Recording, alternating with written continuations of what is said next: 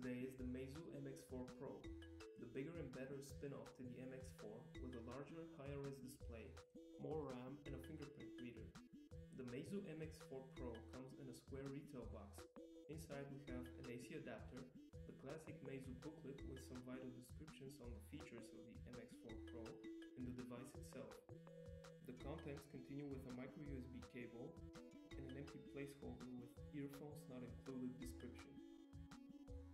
The Meizu MX4 Pro is slightly larger than the MX4 due to a bigger 5.5 inch QHD screen up front. Another novelty is the finger scanning home button under the display.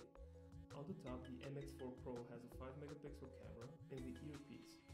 The underside of the phone holds a loudspeaker grill along with the micro USB port and the main microphone. The right side has nothing but the curves of the phone, while on the left there's a single piece volume rocker.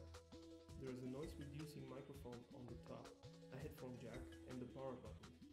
Moving to the back, we find the same 20.7 megapixel Sony made camera with a dual LED flash. You can pry open the plastic back cover to reveal the embedded 3350 mAh battery.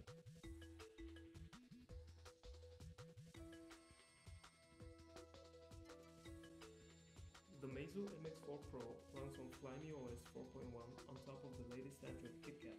You can unlock the device with a swipe on the dark screen and lock with a hold on the home button.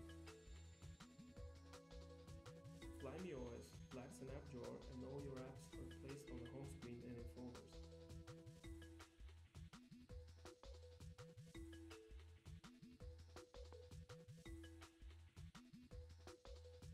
The notification area offers a row of toggles that can be expanded to show all. You get to the task switcher with a swipe and can close individual apps or all of them at once. The settings menu is divided in split screen mode with root settings on the left and individual settings on the right.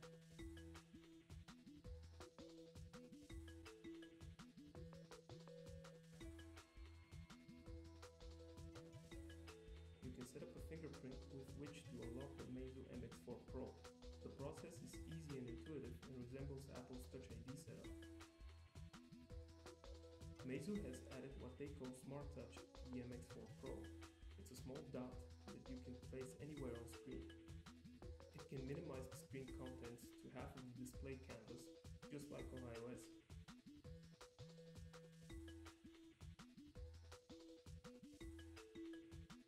A swipe on the small dot will